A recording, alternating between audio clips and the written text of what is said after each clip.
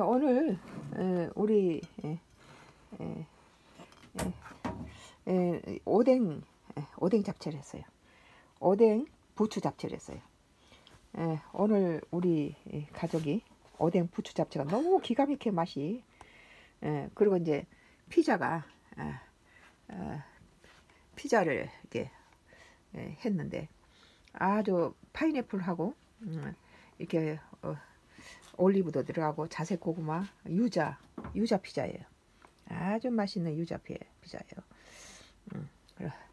이제 오뎅 잡채는 예, 어제 이제 우리가 피자에다 아, 이, 이, 에, 치킨 가스를 먹었기 때문에 오늘은 아, 오뎅이 들어간 잡채로 어, 식사를 했어요.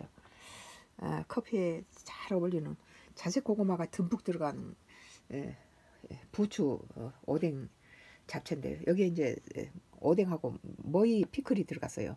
머위 피클은 이제 예, 그 조골세포를 회복시키고 어, 다이어트에 좋아요.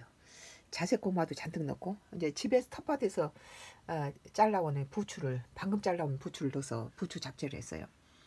부추 오뎅 잡채죠. 오뎅이 한 두 팩 정도 들어갔는데 엄청 맛있네요. 음, 아주 맛있어요.